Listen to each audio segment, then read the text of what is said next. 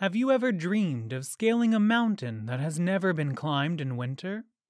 Elisabeth Revol, a French climber, and her partner Tomek Mackiewicz embarked on a daring expedition to conquer Nanga Parbat, the ninth highest mountain in the world. But their dream turned into a nightmare when they encountered severe weather conditions and Tomek's health began to deteriorate. What happened next is a remarkable story of resilience, courage, and friendship Keep watching to learn more about the tragedy that unfolded on the Kinshofer route and how Elisabeth's survival on Nanga Parbat inspires many. Let's get started. The daring duo of Tomek Mackiewicz and Elisabeth Revol embarked on a mission to scale Nanga Parbat via the perilous Kinshofer route. Tomek Mackiewicz was a Polish high-altitude climber, had a troubled past, but found solace in the mountains. Born in 1975 in Działoszyn, a small town in central Poland, he moved with his family to Czestochowa when he was 12, where he battled drug addiction and depression for several years. Despite trying various jobs and hobbies, nothing gave him the satisfaction and purpose he craved until he discovered climbing.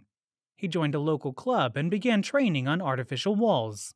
Tomek, as he was fondly called, soon realized that climbing was more than just a sport to him. It became his therapy, a way of life, and a challenge. He quit drugs and dedicated himself to climbing, traveling around Europe and Asia to find new peaks and routes. He met like minded climbers who shared his passion and vision, earning him the nickname Czapkins or Chapa, which means hat in Polish due to his penchant for wearing one. Nanga Parbat an 8,000 meter peak in Pakistan that had never been climbed in winter, held a special fascination for Tomek, and he dreamt of being the first to achieve this feat. He made several attempts with different partners, but each time he faced failure or tragedy. Elisabeth Revol, a French alpinist with extensive experience climbing peaks in Europe, Asia, and South Africa, joined Tomek Mackiewicz on an expedition to climb Nanga Parbat the ninth highest mountain in the world. Elisabeth and Tomek shared a passion for climbing and had attempted to climb Nanga Parbat's Diamir face via a new route without oxygen or fixed ropes four times between 2012 and 2017, but without success. They met at Nanga Parbat's base camp in 2012 and became partners and friends. In January 2018, Elisabeth and Tomek returned to Pakistan for their ultimate challenge. They chose the Kinshofer route, a steep and technically demanding climb that is known for its avalanche danger and bad weather conditions. This route has only been completed by a few climbers since its first ascent in 1962 and is rated as ED in difficulty. Elisabeth and Tomek took a minimalist approach, relying on their own strength, skill, and experience. They did not use oxygen cylinders or fixed ropes and carried only essential items for survival and speed. After the expedition, Elisabeth told the Alpinist magazine that our style was light without fixed ropes. At 4 a.m. on January 20th, they departed from base camp, ascending rapidly and carrying minimal gear, scaling over 1,000 meters of altitude daily.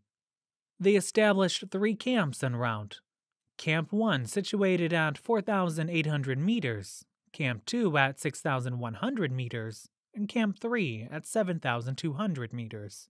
Despite encountering severe winds, bitter temperatures, and deep snow, they persevered through the challenges posed by the treacherous Killer Mountain.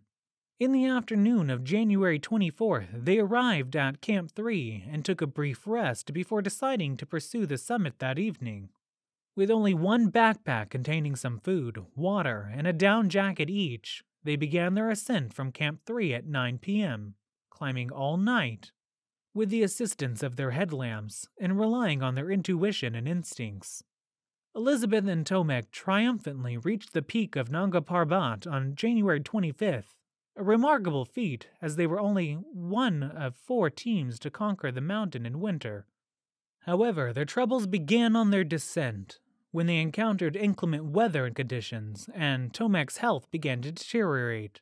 Elisabeth became alarmed when Tomek responded to her inquiry about his well being with the alarming statement, I can't see you. I can't see anything. Acute mountain sickness, which can be life threatening, often manifests with blindness as a symptom. The only solution was to descend to a lower altitude where Tomek could receive more oxygen, since they were climbing without additional tanks. Tomek's pace slowed considerably as they began their descent from the summit. Determined to save him, Elisabeth supported Tomek by placing his arm over her shoulder, and they slowly descended together, with each step bringing them closer to a safer altitude.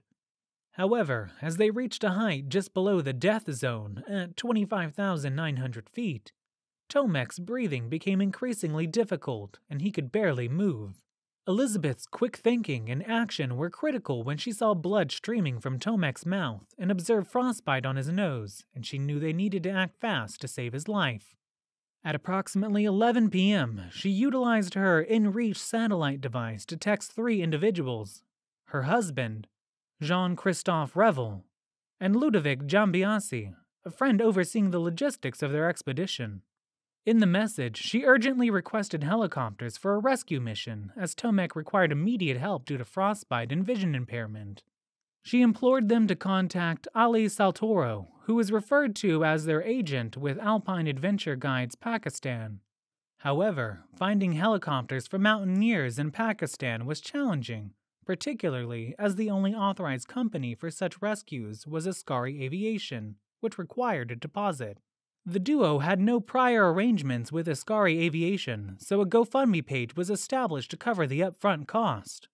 Eventually, the Polish and French embassies provided more than $80,000 to cover the deposit. Nonetheless, the climbers were still trapped at an altitude of around 7,200 meters, which was higher than Askari's helicopter maximum landing height of 5,000 meters. Elisabeth made a tough call on January 27th and decided to leave Tomek in a cave while she descended to a lower altitude of 5,000 meters to meet the rescue team. She understood that the helicopter wouldn't be able to rescue them at such a high altitude. She left Tomek with almost all of their gear in a sleeping bag and started to descend the Kinshofer route, intending to meet the rescue team and then go back to rescue Tomek, who could not move on his own.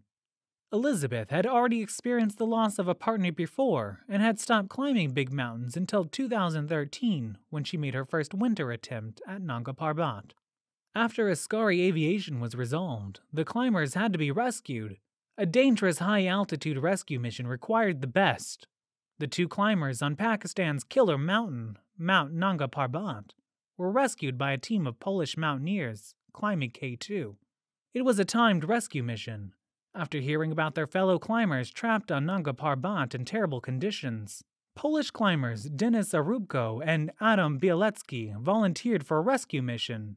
Bielecki was frightened when he learned Elisabeth and Tomek were in trouble, but he was impressed by Elisabeth's strength and toughness when they met during their separate winter mountain climbing expeditions. Another base camp K2 climber, Denis Urubko, felt compelled to help his friends with his high altitude rescue experience. They were alone with a group of Pakistani climbers. The international mountain community rallied to rescue the stranded climbers. Urubko and his team were helicoptered below Camp 1 and began climbing the Kinshofer route to reach the stranded climbers. Elisabeth chose the same descent. Bielecki and Urubko, who led the climb, climbed quickly despite temperatures dropping to minus 60 degrees Celsius. Elisabeth chose the same descent, Bielecki and Urubko, who led the climb, climbed quickly, despite temperatures dropping to minus 60 degrees Celsius. Urubko screamed, and Bielecki shouted that he found her. Urubko brought Elisabeth to Bielecki minutes later. Bielecki almost cried when they found her. Given her ordeal, Elisabeth was in good shape. She hallucinated a woman bringing her hot tea and asking for her shoe after spending the night in a 6,100 meter crevice. Mountaineers often report psychotic episodes and hallucinations, according to doctors. Hearing voices or music and seeing movement are common hallucinations. Climbing alone worsens this. Rubko and Bielecki rushed to help Elisabeth. They gave her warm mittens and circulation pills and brought her to a platform in Camp 2. They kept the tent cover from blowing to keep her comfortable. New challenge getting Elisabeth down the mountain. They took turns, tandem rappelling her down technical terrain and climbing down the snowy slopes with her. Elisabeth had to keep moving because the rescuers couldn't carry her. They left Tomek behind to save Elisabeth. Elisabeth was flown to a hospital after receiving basic care at the Nanga Parbat base camp. In May 2019, she climbed Everest in Lhotse to honor her fallen comrade Tomek Mackiewicz. She wrote, To live, fighting for life on the killer mountain. Elisabeth's survival at Nanga Parbat inspires many. We grieve for Tomek Mackiewicz's family and friends. Both high altitude climbers showed courage, determination, and friendship. The story of Elisabeth Revol and Tomek Mackiewicz on Nanga Parbat is a powerful reminder of the risk and reward of mountaineering. Their determination to conquer the peak in winter with minimal gear and no fixed ropes or oxygen is a testament to their skill, strength, and passion for climbing. Their experience on the Kinshofer route highlights the dangers posed by high altitude climbing, including frostbite, blindness, and acute mountain sickness. The rescue mission that followed demonstrates the power of community and the courage of those who risk their lives to save others. Although the tragic loss of Tomek is a reminder of the risk associated with mountaineering, Elisabeth's survival and recovery serve as a source of inspiration and hope. Her resilience and determination to continue climbing after such a harrowing experience are a testament to the human spirit and indomitable nature. Thank you for watching, and please don't forget to like, share, and subscribe to our channel for more informative content.